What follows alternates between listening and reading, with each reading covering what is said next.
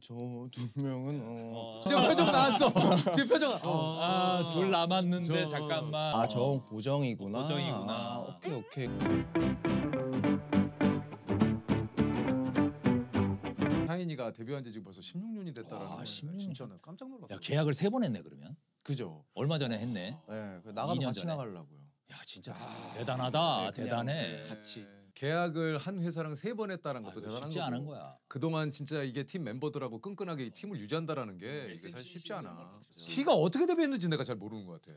그러니까 저는 무조건 SM이었어요. 저는 어릴 때부터 K-팝을 너무 좋아했거든요. 아, 야. 그러니까 동방신기 선배들이랑 막 보아 선배님 전 와, 팬클럽 가입하고. 막 이랬어요. 어디에 팬클럽이었는데? 보아 선배. 그래서 제가 오디션 한 세 번 봤을 거예요. SM만. 네, SM만.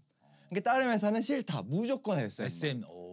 그러니까 보아 때문에 그런 거야? 아니면 그냥 SM이어야 된다? 그러니까 아기 때부터 그냥 저의 사주는 SM을 갈 사주였나 봐요. 그러니까 엄마가 저희도 처음에 멤버 구성 때는 8명이었거든요.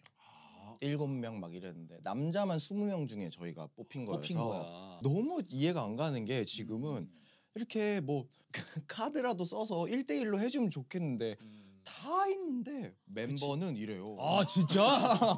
아, 프로그램도 와. 아닌데. 프로그램도 아닌데 누구 누구 누구 누구야 이랬는데 거기에서 제가 막예 이렇게 할수 아, 없잖아요. 못하지, 못하지. 다 분위기도 있고 그러니까 몇 번째 불렸니?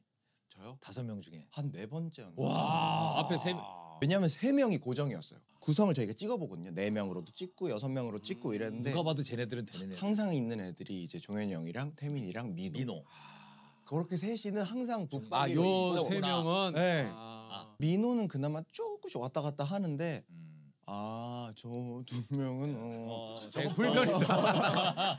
아 오케이. 지금 표정 나왔어. 지금 표정. 어. 아, 둘 남았는데 저- 잠깐만. 그 두 명은 비키질 않아요. 어. 그래서 아저 고정이구나. 고정이구나. 아, 오케이 오케이.